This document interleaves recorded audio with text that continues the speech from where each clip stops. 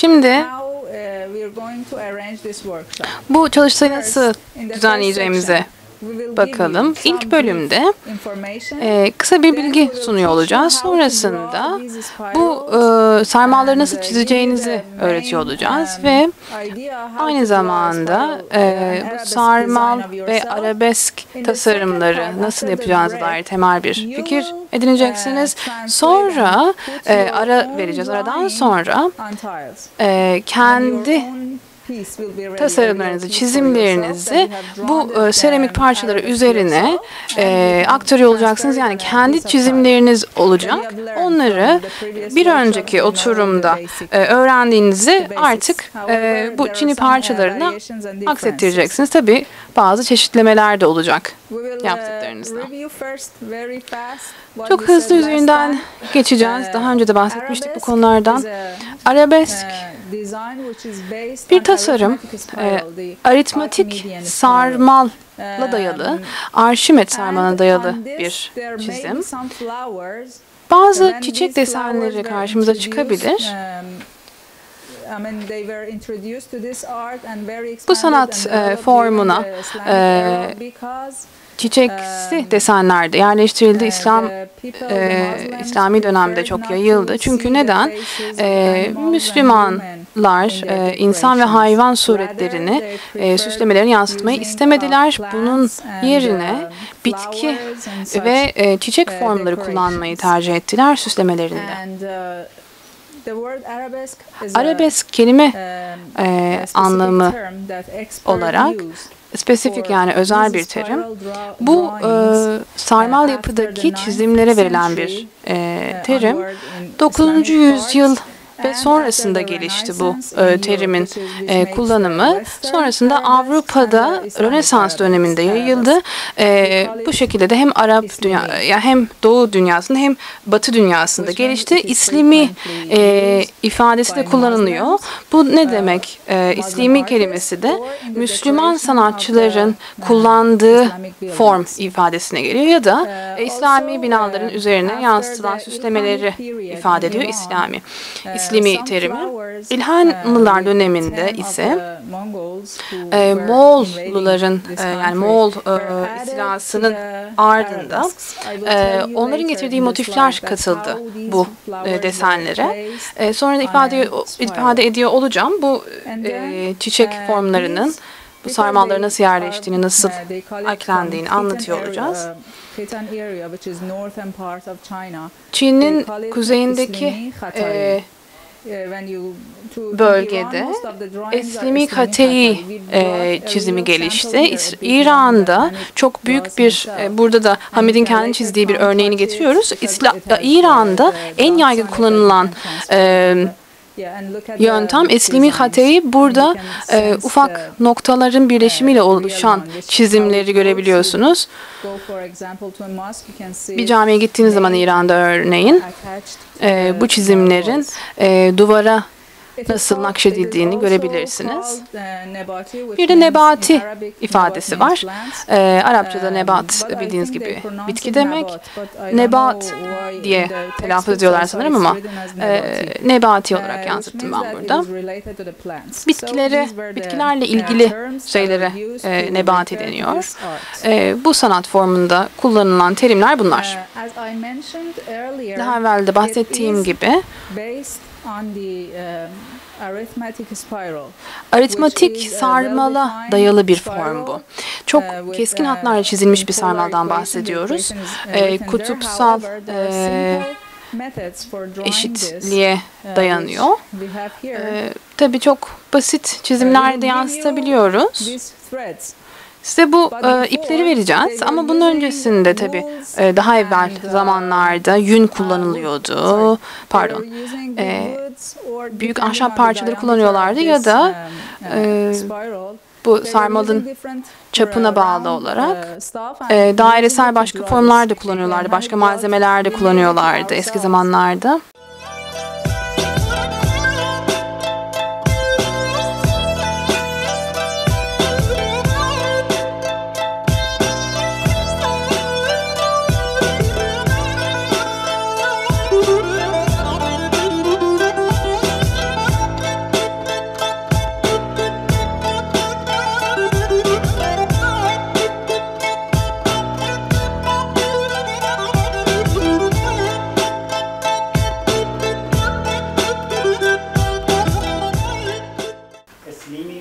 İslimi veya arabeskin yapısı bunu yansıtıyor.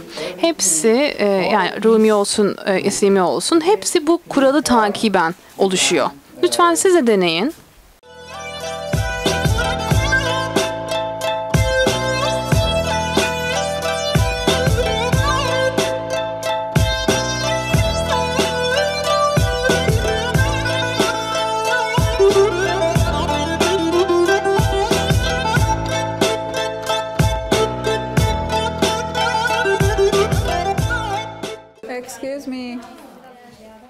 Pardon. Büyük sarmallar mı çizmeye çalıştınız? Bunu birkaç kez tekrar ettiğinizde e, pratikle artık zaten eliniz e, alışıyor olacak. E, sonrasında eliniz alıştığı zaman da boyutunu ayarlayabileceksiniz. Daha küçük, daha büyük olacak. Yani eliniz alıştıktan sonra artık e, ip kullanmaktan da vazgeçeceksiniz. Yani Hamit böyle bir sarmal çizmeye kalktığı zaman ip falan kullanmıyor hiç. Ya da başka e, dairesel objeler kullanmıyor. Çünkü pratik yaptığınız zaman e, eliniz nereye döneceğini biliyor. E, size çok doğal e, bir şekilde akıyor gibi olacak. Bir arkadaşınız e, dedik ki ufak bir şey çizmek istesem ne yapacağım? Şimdi e, herhangi bir araç kullanmadan şu an elinizle deneyebilirsiniz. Herhangi bir obje kullanmadan. Ama tabii ki o noktaya varabilmeniz için birazcık pratiğe ihtiyacınız var. Şu an temel öğelerini öğreniyorsunuz. Ee, tabii bir süre sonra e, bu ipleri kullanarak, pratik yaparak öğreniyor olacaksınız. Okay, if you look at these pictures, bu resimlere bakarsanız bu ekrandaki resimleri e, farklı sarmallar karşınıza çıkıyor. İki tane bitki gövdesi var mesela burada. Bir de kırmızı kısmını görüyorsunuz. O da bir başka form. E, mavinin içine geçiyor. Bu tür çini formları e, muarak olarak adlanır dırılıyor. E, iki yıl önceki e, İstanbul Tasarım Merkezi e, çalıştayında bu muharak çinileri üzerine odaklanmıştık.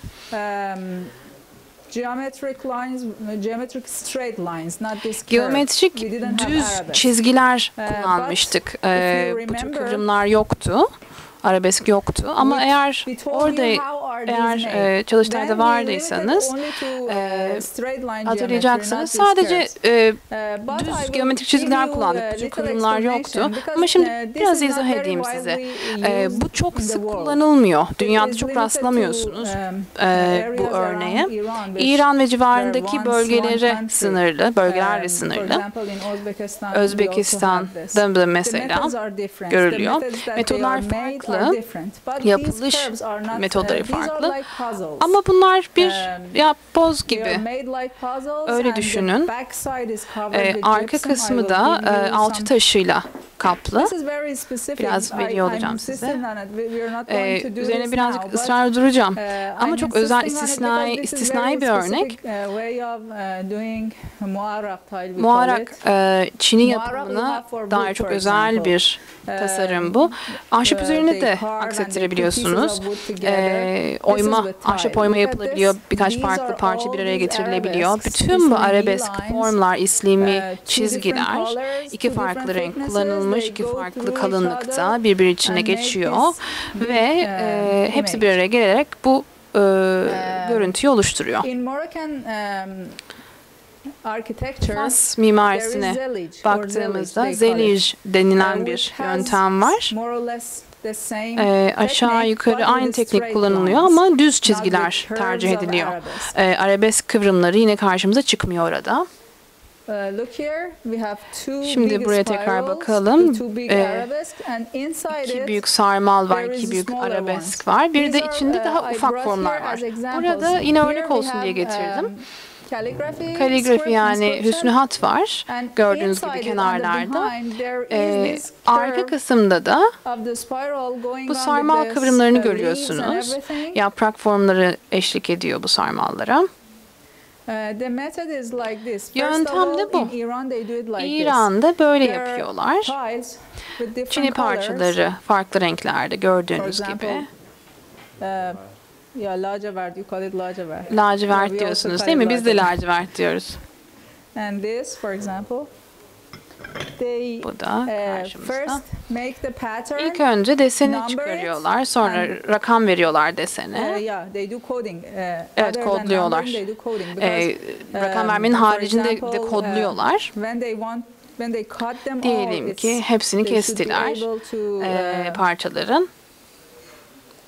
They should be able to put that, put them back again. O parçaları doğru yerlere yetiş- yerleştirmek için ihtiyaçları var.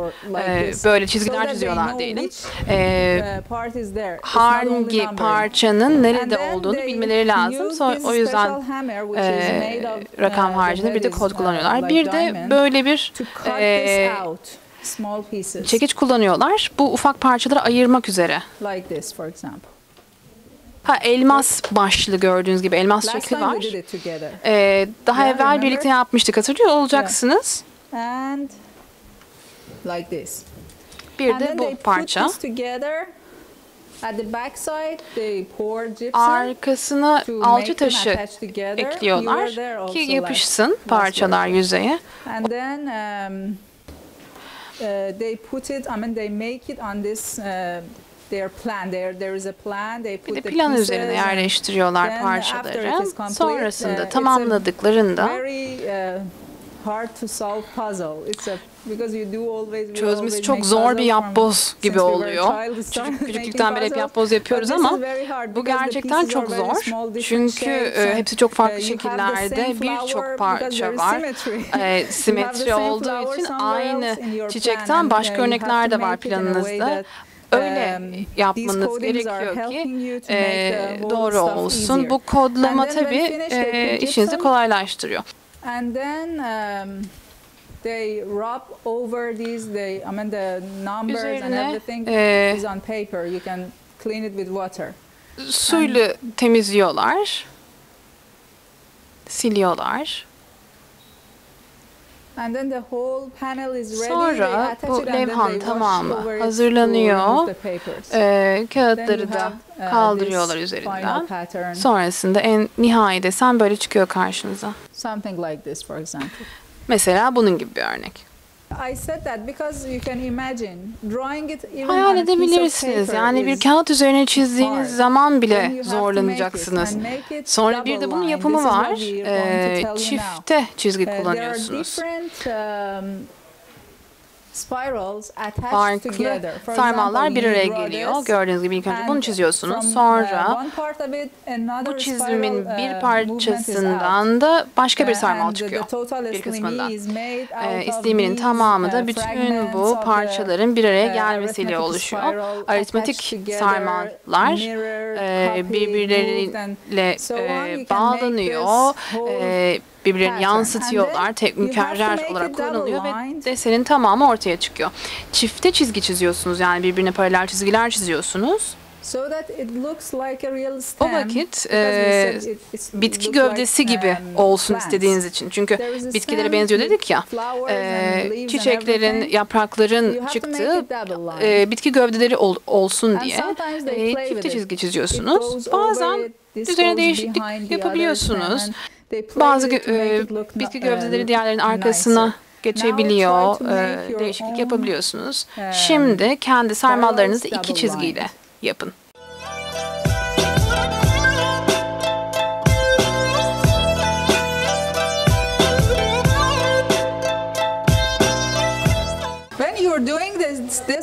Bunu kağıtta yaptığınız zaman eğer bir fırça kullanıyorsunuz, boya fırçası, you uh, this uh, thickness. Bu fırçanız ne kadar kalınsa çizginiz de o kadar kalın olacak. Daha kalın bir fırça kullanıyorsanız daha çizginiz de kalın olur tabii. Öyleyse iki e, çizgi çizmenize gerek yok. Eğer kalın uçlu bir fırça kullanırsanız zaten istediğiniz kalınlığa ulaşmış olacaksınız ama tabii elinizle yapıyorsunuz şu anda. Yine pratik olsun, alıştırma yapın diye, e, kıvrımları ortaya çıkarın diye şu anda elle çalışıyorsunuz. If you look at the slide, Slide'a bakacak olursanız bu basit sarmalın üzerinde e, tasarımcı, çizimci şöyle bir şey yapmış. Yani bir karar vermiş. E, daire çiz, çizerek e, bu İslami Hatay deseninde çizgileri nereye koyacağına karar vermiş. Yani bu daireler onu gösteriyor. E, kendilerine kolaylık sağlasın, açık görebilsinler diye. Yani sarmalın üzerine bu daireleri o yüzden çiziyorlar. Bu örneğe bakacak olursanız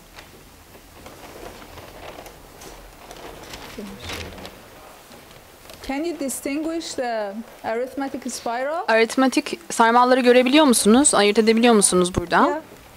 Simple. You see?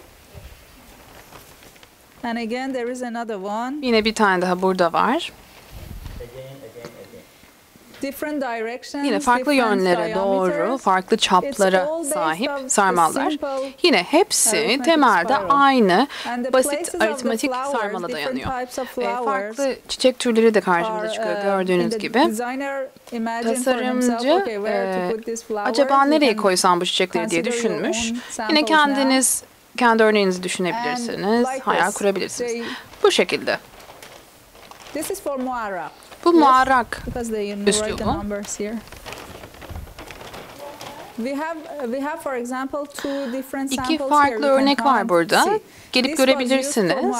Muarak e, çini yapımı için kullanılıyor. Yapboz dediğim yani. Bu um, kısmı da e, you can- renkli if you çini boyamasında kullanılıyor. Sonrasında gelip dokunursanız e, noktaları hissedeceksiniz. Sonrasında kullanacaksınız bu noktaları zaten. Yani küçük delikler açıyorlar. noktalardan, E, kül gibi yani design over the, kömür tiles. tozu gibi bir şey kullanıyorlar. Deseni yansıtmak için sonra bir araç kullanıyorlar. Bir sonraki oturumda yapıyor olacağız zaten. Yani design tasarımı. Çinli'nin yüzeyine ak- aktarmak için kullanıyorlar. Bu kural yalnızca Hatay Rumi için geçerli. Arabeskte hiçbir çiçek kullanmıyoruz. Arabeskte sadece Leaves.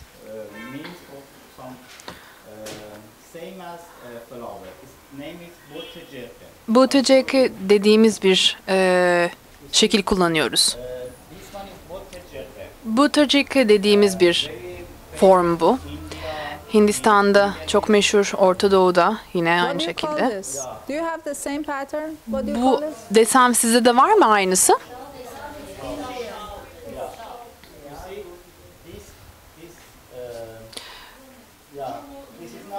Bu Rumi değil. Bu arabesk, İslami dediğimiz form. Ama içinde tabi bazı Rumi parçalar olabilir ama yapısı itibariyle arabesk İslami diyoruz. Temelde yapının özü İslami. With two fragments of a spiral, Yani sarmanın iki parçasını alıp bu tasarımı yapabilirsiniz. Bote cekke. Yes. Yazabilir misiniz dendi. Yazıyorum.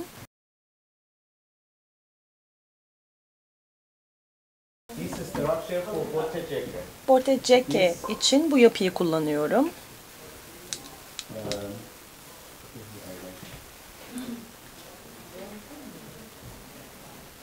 Okay, this one is two uh, type of. Burada iki tür yapılabilir.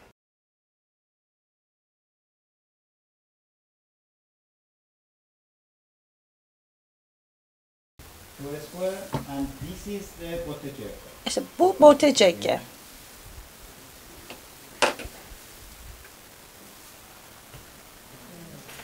Tamam mı?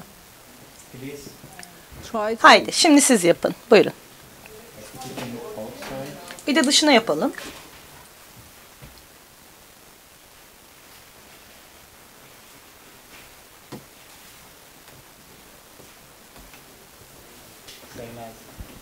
The same circle Şunun aynısı mesela. you have here. You have it here. Mesela bir içine bir dışına olacak şekilde de iki daire çiziyoruz.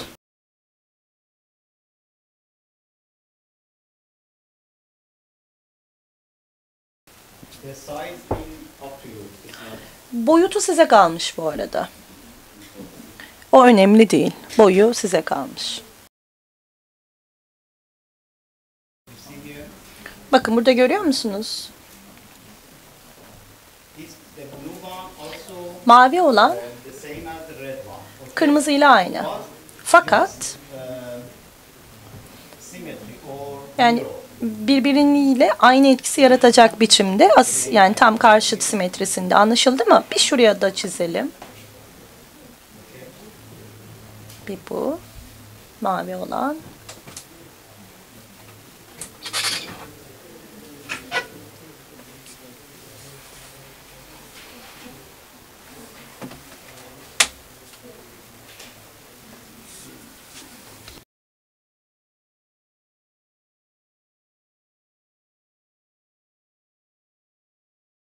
If you look at your books on page 16, 16. sayfayı açıp bakarsanız bu farklı e, eğrilerin nasıl bir araya getirildiğini görebilirsiniz. Bir sonraki sayfaya baktığınızda mesela yani 18'e, 17'ye, 18'e falan hani ilerideki sayfalara baktığınızda e, bunun çift hatlı olduğunu görüyorsunuz. 16'da tek bir çizgi var, 18'de burada iki çizgi var, çift çizgi var. Bunların hepsini bir araya getirdiğinizde yani bir uyum içerisinde olması gerektiğini lütfen unutmayın. E, eğrilerin yarı çapı çok farklı olursa o zaman çok güzel görünmeyecektir. Ama bir şekilde görece olarak birbirine benzer ya da kıyaslanabilir olursa çiziminizde bir denge oluşturacak, bir uyum oluşturacak. Hatırlarsanız denge ve uyum ve simetri kuralı var demiştik sunumda. E, ve bu da nihai ürünün ya da tasarımın güzel görünüp görünmeyeceğini belirleyecek. Lütfen bu kuralları kullanalım, kafamızda tutalım. Eğer olmazsa hani düşündüğümüz istediğimiz şey olmayabilir. Bir uyum ve dengeyi her zaman gözetin bir şey çizerken. Çenk adını veriyoruz ya da pençe, Uh, penç adını veriyoruz kitapta da. Bir e, e, spiral bir e, spiral uh, e, bitir, biteceğinde, Uh, bittiğinde e, um, sarmal güzel uh, görünmeli. E, mesela işte e, bir e, ejderha ağzını andırabilir. E, Hatırlarsanız geçen sefer söyledik ya da bu spesifik çizimlerden biri kullanılabilir. E, bu arada örnekler de var kitabınızda. Bitiriş için yani o the, ağzını e, kafa kısmını bitirmek için e, ya da diğer o çıkan yanındaki e, işte eş gövdelerin yanı, yerine kullanılabilir bunlar. Bakın yeşil renk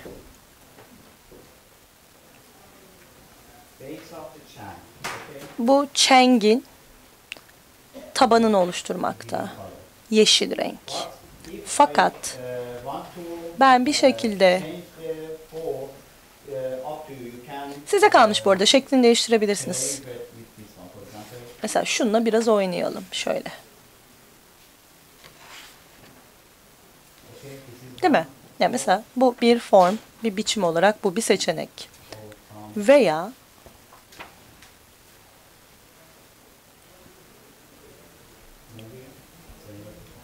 şuradaki gibi daha hareketli bir şey yapabilirsiniz ya da şunun gibi bir biçim verebilirsiniz, form verebilirsiniz. Tamam mı?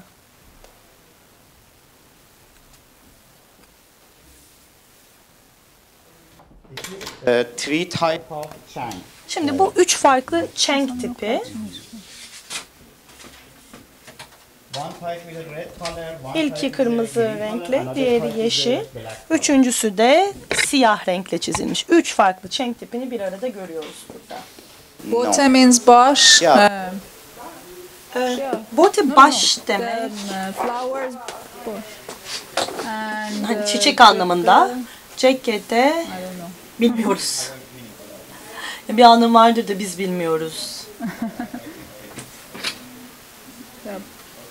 Galiba bir anlamı da olmayabilir. Uh, Aynı şekilde, um, özel olarak uh, Yani or down and bir, e, İşte kaligrafi ve e, yazıyla uzun ve dar bir alanda tasarım yapacaksanız bu çok bilinen bir teknik. E, zincir tekniği, zincir diyoruz biz Farsça'da. İki uzun sağlı sollu çizgi bulunmakta. Birbirinin içerisine geçmiş durumda. Öncelikle bunu yapabilmek için e, önce elinizi kullanarak yani şu hareketi vermeye çalışın, yansıtmaya çalışın lütfen. Kağıtlarınızda şimdi önce şu üst taraftakini çizmeye çalışın. Sonra bunu tasarımı bu çenklerle, o pençelerle e, dolduracaksınız. Just uh, you must to repeat Tabii yinelemeniz gereken şey şu bakın. Yani şu parçaları e, tekrar edeceksiniz. Bakın şunu şurada tekrar etmişim. for example. Okay? Değil mi? And again, again, again. Just Ve yine yine yine. Yani parçaları birbirini takip edecek biçimde how to tekrar edeceksiniz, yineleyeceksiniz. Her biri bir spiral.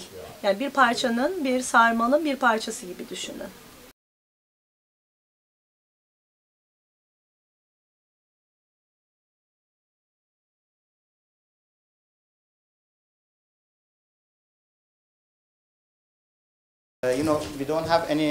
Şimdi daha da fazla zamanımız kalmadığı için maalesef e, şimdi bu mı türde e, bir arabesk tasarımı yapmak istiyoruz. Sanıyorum kitapta da kaçıncı sayfa? 59, I think. 59. I'm not sure what. Ama emin değilim bir bakalım. 70. 70 70. 70. sayfa. Peki. Sayfa 70'e geliyoruz. Bu son yansı. Ee, tasarım yani şunu tasarlamak istiyoruz. Ee, bunu da Çini için. Çin'i yapacak şekilde tasarlayacağız. Son oturumda bunu yapacağız. Siz işte onu kendiniz çizeceksiniz. Ve sonraki e, e, aradan sonra alıp onları Çin'e aktaracaksınız. Yani herkes bir şey yapmalı şu an. Yani için canınız istemiyorsa bile kopyalayın. Ee, çünkü doğrudan kitaptan kopyalayabilirsiniz. Ama size bu türde bu tasarım nasıl yapılır bunu öğretmek istiyoruz. Çünkü zaten simetriye alışırsanız yarısını çizmiş oluyorsunuz. Sonra öteki tarafını aktarırsınız. Size verdiğimiz kağıtlar bu arada şeffaf. Bunlar aktarılabilir. En kötü oradan kullanırsınız yani.